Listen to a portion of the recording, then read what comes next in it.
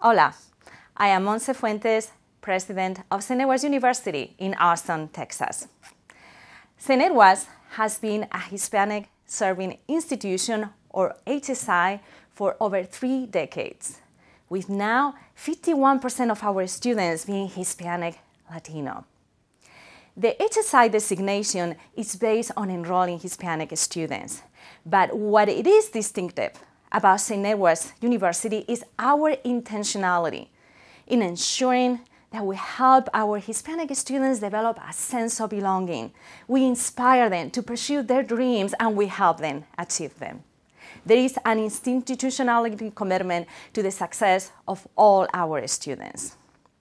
And that is why it's so incredibly important for us as institution to receive the very competitive and distinctive Seal of Excelencia. Because the Seal of Excelencia is not only about enrolling the Latino students, but it's about the accountability in graduating them and ensuring their success.